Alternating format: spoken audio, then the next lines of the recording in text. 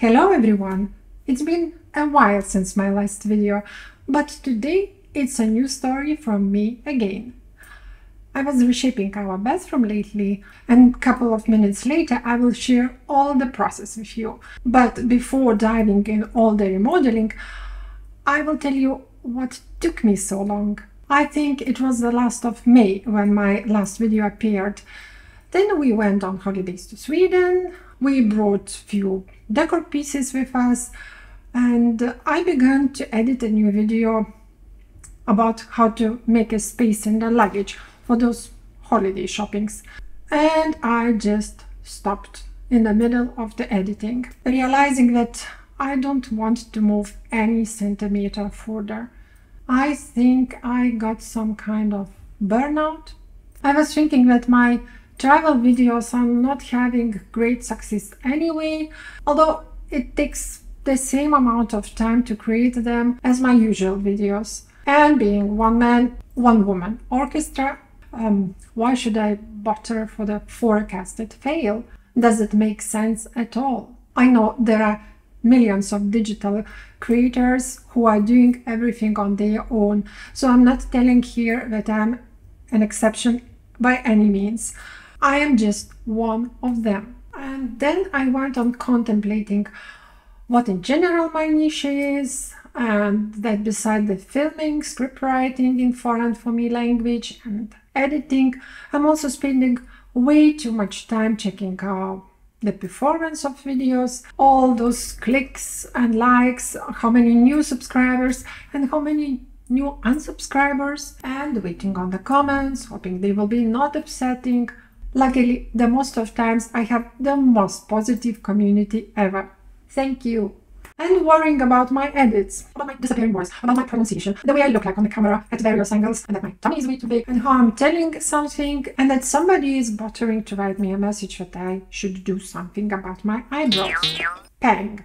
And on top of it, my back and my neck got so sore, so aching, that I had to go to the therapy because I barely could move. I thought, hold on, dear, you need a break.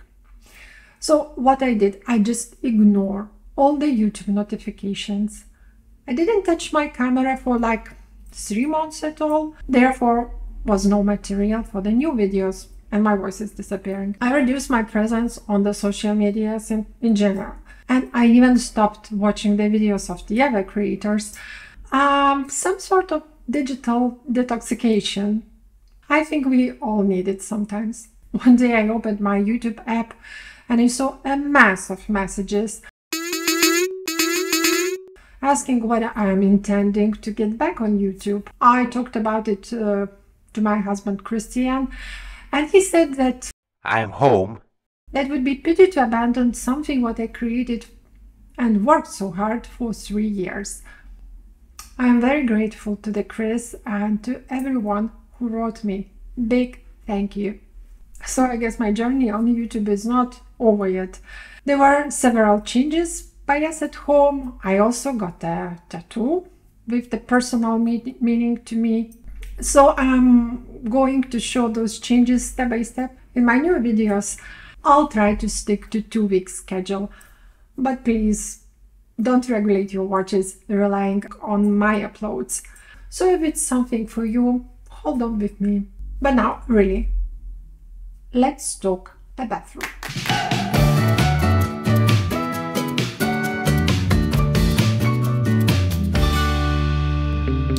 So I created a new problem to myself, I know. And precisely, I challenged me to give our bathroom a new shape. I was already for long a second seeing everything on the display. Yes, that's how it was look like. You are literally visually bombed with all those exposed bits and bytes, regardless of my attempt to keep them neat and tidy. On top of it, everything doubles after every travel adding unfinished travel size containers. That way, I had three aims to increase the storage space, to improve the appearance, and to make it rental friendly. I wanted to get a cabinet where I could hide everything, and it had to stay on oven legs. The problem is that the most of the cabinets mean for the bathroom, which I liked, were a wall mounted To those who don't know, my husband and I were renting a flat in Luxembourg and I'm rather avoiding boring the holes in the surfaces, which are easy to destroy and tricky to fix. After several trips to the various furniture stores, I got a generous cabinet from IKEA, which initially isn't meant for the bathroom, but it has a good size and the legs, which by default is practical option for the cleaning underneath, and it's also good in general when it's off the floor, because you know, the shower water leaks. I thought the glossy doors are practical and nice, but removing off the protective film wrap was the most difficult part of all the project.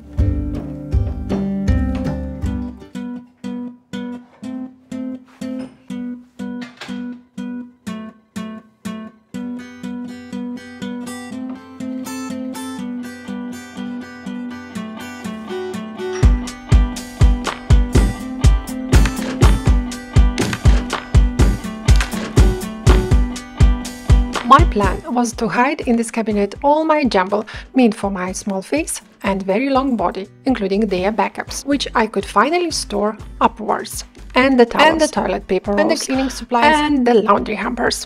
Let's make it happen.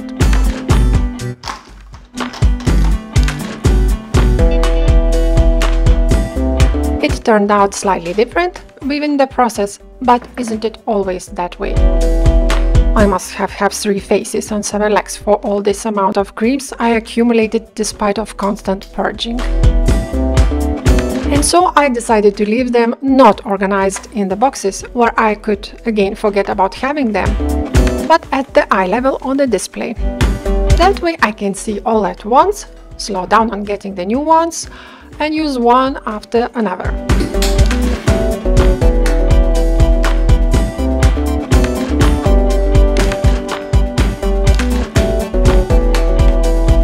Off topic, but did you know that the tabs for the dentures care are also perfect for cleaning the tube in the loo? I'm dropping there a couple of tabs every now and then.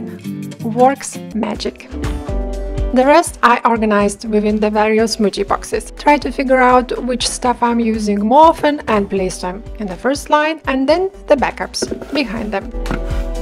I added an old hanging basket from IKEA to one of the shelves for organize the electric appliances, which I'm almost never using. Makes sense. Along with it, I ordered rechargeable lights with motion sensor, because I thought the stuff would be more visible if it was illuminated. Sometime, maybe in spring, I installed those lights over the kitchen sink. They've been a real game changer. I hate this expression, but it's so true.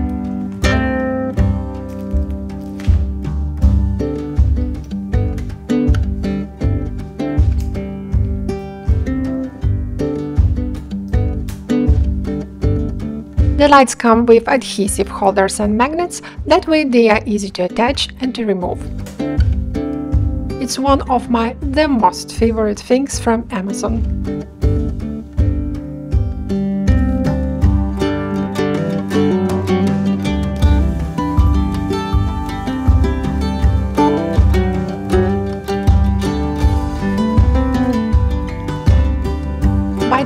The towels didn't make into the cabinet, the toilet paper also not, but I got the other solution for them and I will show you in a minute.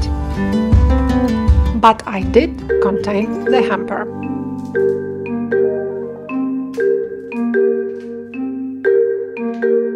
For better ventilation, we are leaving the door open in the night nobody sees.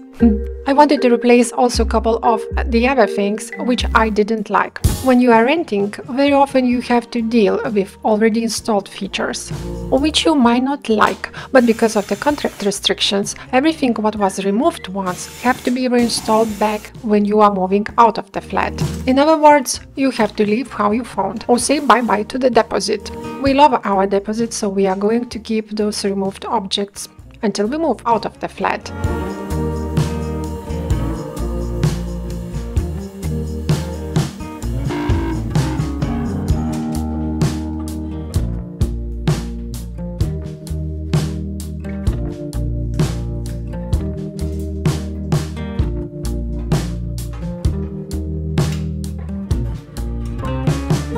The new toilet roll holder comes with the box. There can be hidden various items and I found it really practical. Okay. As I mentioned, there were no room for store the toilet paper in the cabinet, but I found this minimalistic design storage box from Yamazaki. It says it holds 12 rolls, but those from DM, if you know you know, are slightly bulkier. However, I could fit 10 of them in it.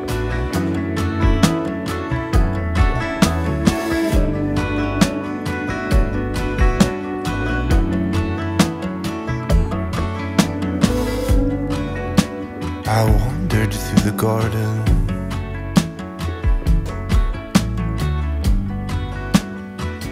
On. One more thing I never liked in this bathroom are those hand towel skewers. The first, we are using small towels and they are often simply sliding off on the ground. And the second, many tiny bruises on my tights made me to take my earrings off. With me.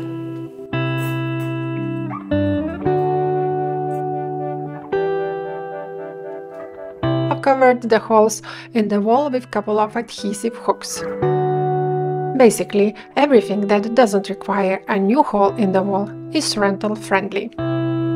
We like it much much better now. It got very empty here, and when I'm honest, a minimalist in me likes that way a lot.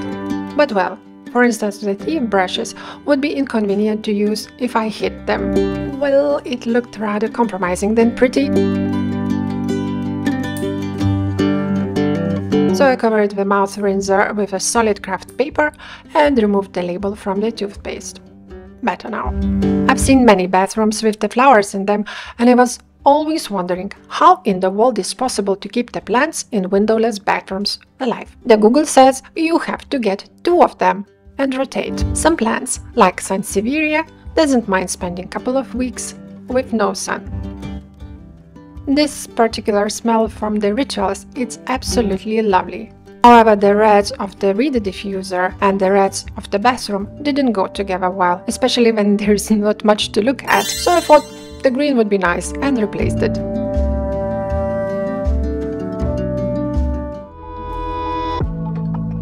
The old one I hid in the flower vase. The bottle I secured with the candle sticker, so it doesn't slide on the bottom of the vase and I can still enjoy the smell without looking at it. Et voila! Here is before and afters.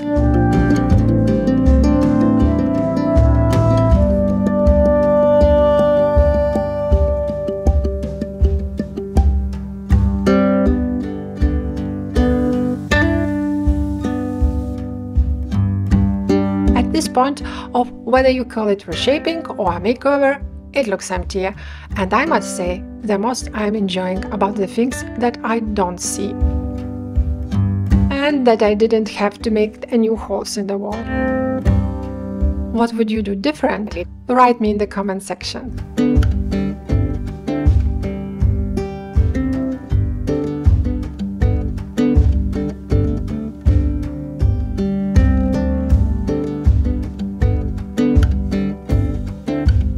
I said, I have chosen the glossy door for this cabinet. It looks more high-end for me and it's well known that glossy surfaces are much easier to clean than those in matte.